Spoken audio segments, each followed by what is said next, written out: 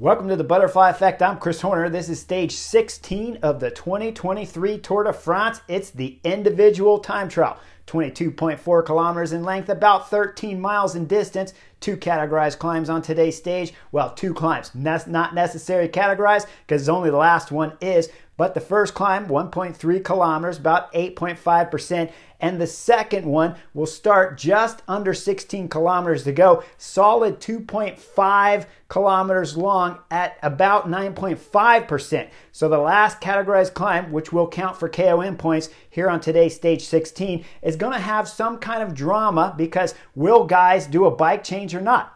Now, if you guys watched my channel yesterday on Beyond the Coverage, I told you no way would I do a bike change unless I look at the course and see that it's technical or really rough or super narrow or just really tight and turny, then maybe. But otherwise, at 9.5% for only 2.5 kilometers and not even summiting at the top, I'm not doing a bike change. Told you guys that yesterday, and when I watched today's race, flipping on the channel from GCN commentators, I'm sticking with the same opinion. There's no way I would switch bikes after seeing this course when 2.5 kilometers is hard at 9.5%. But the drag coming into the finish, that says TT all over the place to me when I'm sitting on the Chesterfield, especially, especially if I can carry the speed of Wout Van Aert, Jonas Vingegaard, and Tadej Pogacar.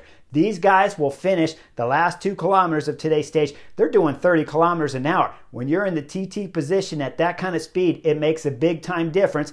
But will all the teams do that? I don't know. We'll have to wait and see. When the racing starts, it's going to be Michael Morkov, and he's leaving the ramp first here because he's the Lanterne Rouge person here at the Tour de France. So he's going to be first off the ramp, and the Soudal Quick Step rider is going to be first across the line to put himself in the hot seat.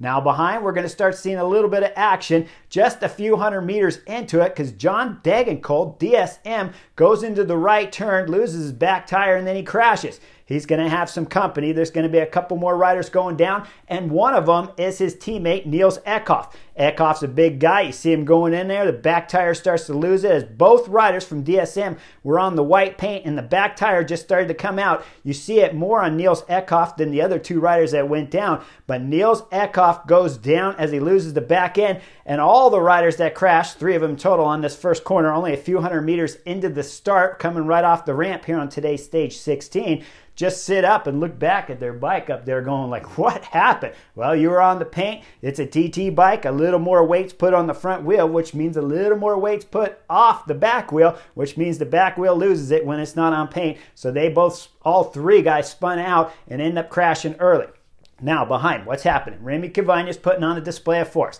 He's flying along the course. He is the French national time trial champion in years past, and he rides for Soudal Quickstep. His teammate up front, Dries Devenyns, dislodged the other Soudal quick step rider, Michael Morkov. And so Dries Devenyns in the hot seat when Rémi Cavagna is going full gas. Rémi Cavagna is putting on a show out there, and he is solid on the pedals. He'll cross the line, put himself into the hot seat with the best time here early in today's stage 16 for Soudal Quickstep that really highlighted most of the show. Now, back to film up just a little bit. It's the UnoX rider, Soren Wærenskjold there that's doing a bike change. I'm like, what are you doing a bike change for? Are you guys kidding me? You see he's taking the time to take his computer off, his bike's getting brought up to him, and then he's jumping on his road bike, and, they, and he's got that ridiculous TT helmet on. If anyone ever tells you when they're talking about to a professional rider saying, ah, just use this equipment, trust me, it's the fastest, we've tested it, it's the bomb, it's the fastest. When you look at this time trial helmet on the UnoX rider, have any of these guys gone faster with putting that helmet on throughout this 2023 season? I don't think so. So maybe they should change that helmet to something else because certainly that massive Darth Vader style helmet there, comb the desert from Spaceballs, is ridiculous, but Soren Wærenskjold is going to ride it anyways to the finish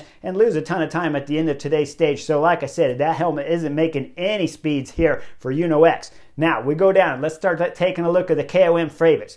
We got Neilson Powless from EF Education. He's leaving the ramp on his road bike. Now, I don't know if I'd leave the ramp on my road bike, even if I'm going for KOM, but remember on the today's individual time trial, the KOM time is going to start from the bottom and go to the top of the climb, what you did before the stage and what you do after the top of the KOM, time wise, doesn't matter. It's only between the bottom and the top of that KOM that's going to count. So Neilson Powless is going to roll off the ramp on his regular, normal road bike. Only problem is for me, he's got his the TT disc on the back of the bike. I don't understand this philosophy. Sometimes the discs are fairly light, and I've remembered times riding for Radio Shack that we had an exceptionally light one. But if his disc is any heavier than a normal road wheel that you can run super light for today's KOM stage, you could just get rid of that disc and ride your bike. Now we'll see Neilson Powless hit the KOM. He's going to go full gas, but gain no KOM points at the end of today's stage. So nothing they achieve tactically wise with leaving the ramp on your road bike will help Neilson Powless get any points at the end of today's stage.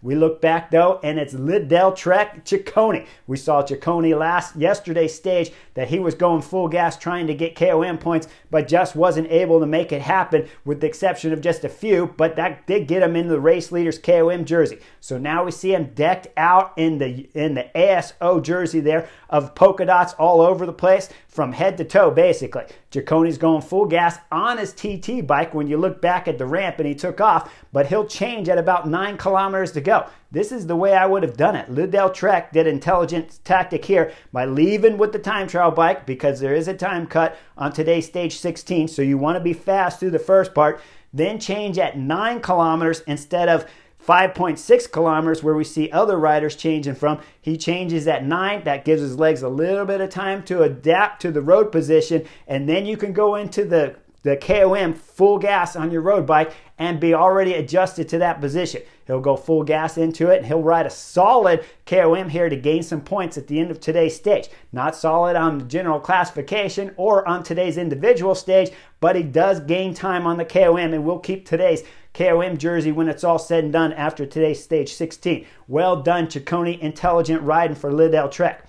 Now we start looking at some of the favorites leaving the ramp because Wout Van Aert for Jumbo Visma has departed. He is flying. He's in the TT position power all over the place. We start seeing his time checks. It's running close there with Rémi Cavagna. Then when he gets into the mountain part of today's stage 16, Wout Van Aert goes to work. He'll power all the way up to the finish line of today's stage 16 and he will dislodge Rémi Cavagna by 15 seconds there from the Frenchman from Soudal Quicks to put Jumbo Visma in the hot seat. Now, Wout Van Aert, while he was out on the course, and just as he finished, all the other GC favorites in the top 10 relieve it. Sepp Kuss had left the ramp, Adam Yates leaving the ramp. Then we're starting to get down to the top of the GC favorites as Wout Van Aert had finished and crossed the line. We started seeing that leaving the ramp was Carlos Rodriguez from Ineos. He's sitting third on the general classification, and Ineos want this podium spot. They've already got a couple stage victories here in the 2023 Tour de France, but they need Carlos Rodriguez, the Spaniard, to deliver on today's individual time trial if if they want to keep him in a podium spot here at the Tour de France. Behind him is Tadej Pogacar, the number one ranked rider in the world, up here on the butterfly effect. The Slovenians leaving the leaving the ramp and flying right away out of the saddle. Then you see him drop into the TT position. He'll fly through that first corner that caused three riders already the crash that I talked about earlier. Tadej Pogacar goes through it, but look, he's not touching the paint at all. Cleanly makes it through the right, then starts accelerating. We see him get into the first climbing here er, just after two kilometers early in this stage, and he's already up on Wout van Aert. The Slovenian is flying, but guess what? Let's go back to the start ramp. Jonas Vingegaard decked out in the gorgeous race leader's yellow jersey. If I back the film up just a little bit before, he was warming up right there by the start area of today's stage 16, so you know his legs are already warm when he's sitting up on the ramp. We see the clock tick down from 10, then it hits 5, 4, 3, 2, one, and the yellow jersey is off. The last rider to leave the ramp on today's stage 16. Right away, he's out of the saddle, sprinting, coming off the ramp. You see him sit down, start sprinting again. He'll drop into his TT position, then fly through that right corner. When he goes through the right corner, same scenario like Tadej Pogacar, not touching the white paint until he just has to cross the little strip, makes it through the right corner, and then Jonas Vingegaard looks like he's flying, and we're just three, 400 meters in today's stage 16. Now, I told you, Tadej Pogacar Pogacar up the road. He's already flying on Wout Van Aert's time. But when we start seeing the time gap to Wout Van Aert, right after that, we see the time gap Jonas Vingegaard is putting on someone. It's about 21 seconds. It says Wout Van Aert, but I don't know if they mean Tadej Pogacar because it's showing green. Well, Jonas Vingegaard's flying. That's all I can tell, and anyone could tell. The speed differences that he's doing to Tadej Pogacar, they look magnificent every time the cameras go back from Tadej Pogacar to Jonas Vingegaard. When they hit the first time check for Jonas Vingegaard, he's up 16 seconds on Tadej Pogacar's time. Guys, he's going to hold the race leader's jersey if if he can keep it together here on stage 16. I'm sitting on the Chesterfield thinking, man, maybe the race leader's jersey just went out exceptionally hot and he might blow up after doing that first category climb, after doing that first climb here on stage 16 and then dropping down through the flat sections and through the descent. He was flying. I mean, taking risk all over the place, but never looked like he was too far over the edge to me while sitting on the couch. Now we're coming up to the second time point. Tadej Pogacar is flying. He's still making time on Wout Van Aert, but losing time to Jonas Vingegaard still. We're going to come into the second time check. We'll see that Tadej Pogacar is down 31 seconds to Jonas Vingegaard. Now, if I back the film all the way up close to the beginning of today's stage 16, it's Mikkel Bjerg. Mikkel Bjerg rides for UAE Team Emirates, and I want to show you with 5.6 kilometers to go, Mikkel Bjerg did a bike change right when the climb started getting difficult.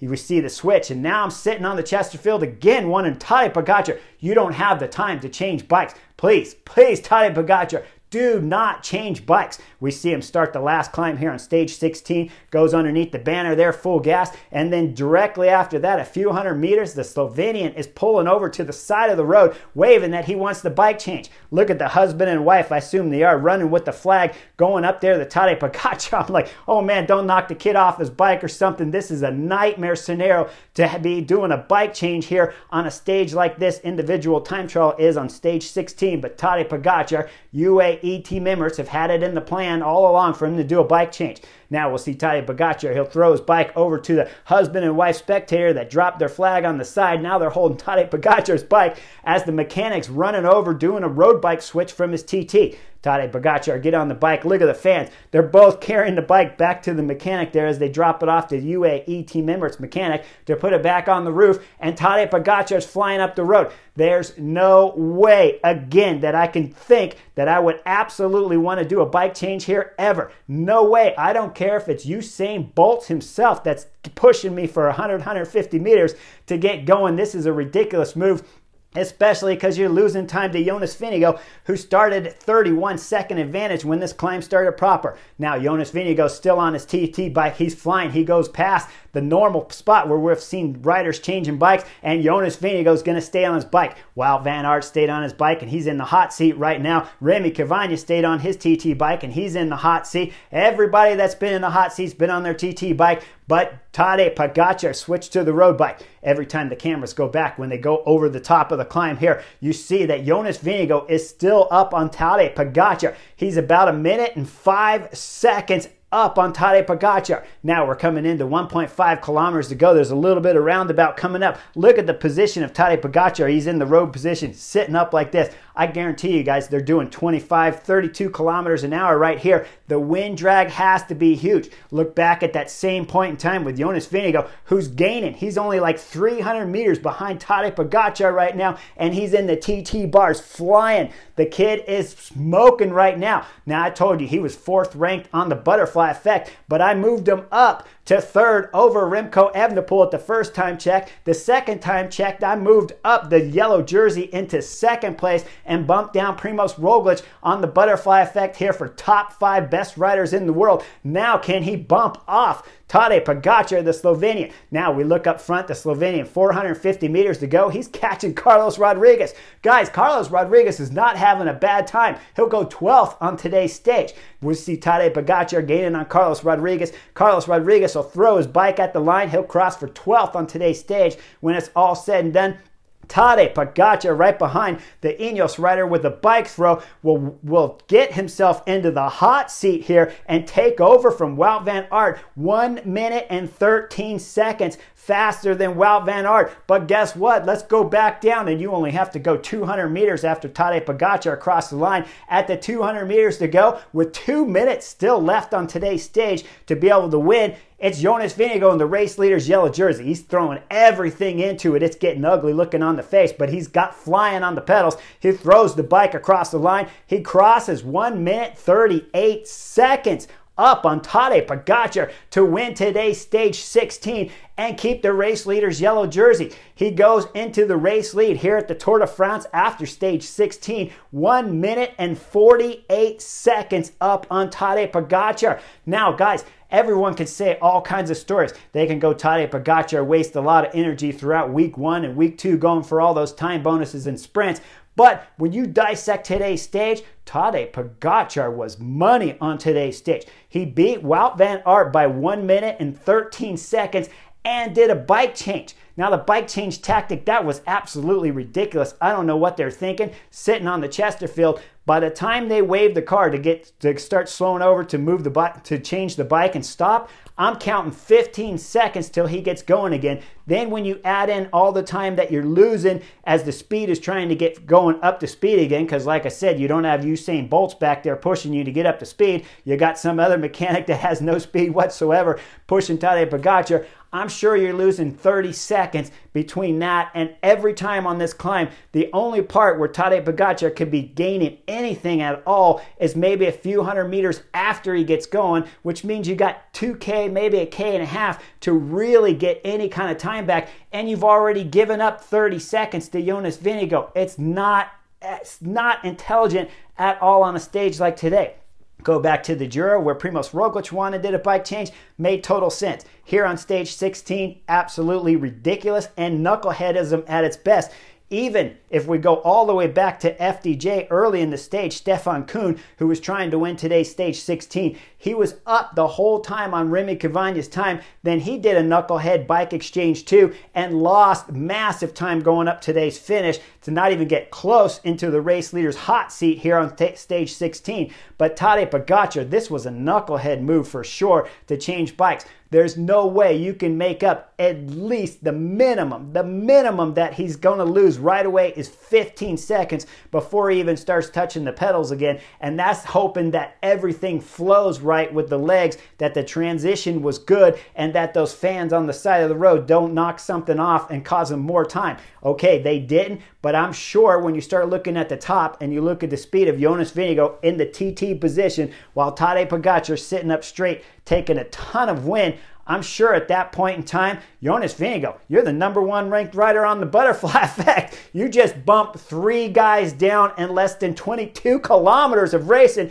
here on stage 16 to put yourself into what looks like the most dominating chance here to win this year's 2023 Tour de France because we know Jonas, Jonas Vingegaard and his Jumbo Visma squad are the best team in this race, even though Tadej Pogacar afterwards said, well, my legs didn't feel quite great, and I guarantee you that this race is not quite over. He's hoping for some rain and some chaos. Now, he had kept talking about going over Col de Mary Blanc, and he hopes that something like that happens. So, what he's trying to tell us, I believe, is that he's hoping Jonas Vingegaard has some kind of bad day, either on tomorrow's stage 16 or, of course, on the next mountain stage on stage 20 of this year's Tour de France. I told you guys yesterday on Beyond the Coverage that Tadej Pogacar, if he was close on the general classification, he'd have to keep everything together and go for a kind of a, like a small field group of GC sprint at the finish of these mountain stages. But now Tadej Pogacar is going to have to go big. He's going to have to drop Jonas Vingegaard, the number one ranked rider on the butterfly effect, hard on tomorrow 17 if if Tadej Pogacar wants to move back into the first place here at the Tour de France and back into first on the butterfly effect.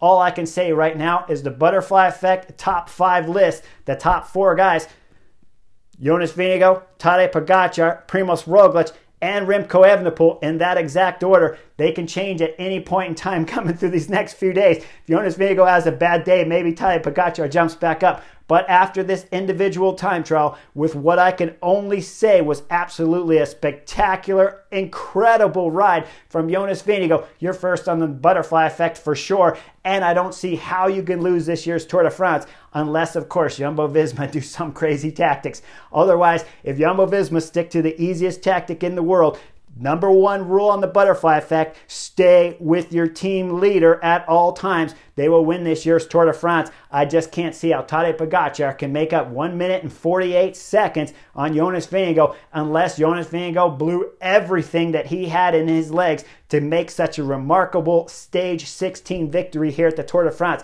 Either way, it was a marvelous day sitting on the Chesterfield, and we got two more big mountain stages here at the 23 Tour de France. So like and subscribe. I'll see you guys real soon. Jonas Vingegaard, number one ranked rider on the Butterfly Effect. Congratulations, that was spectacular. Like and, like and subscribe, and I'll see you guys on the next edition real soon. There you go. That was your best TT ever. Just like Jonas.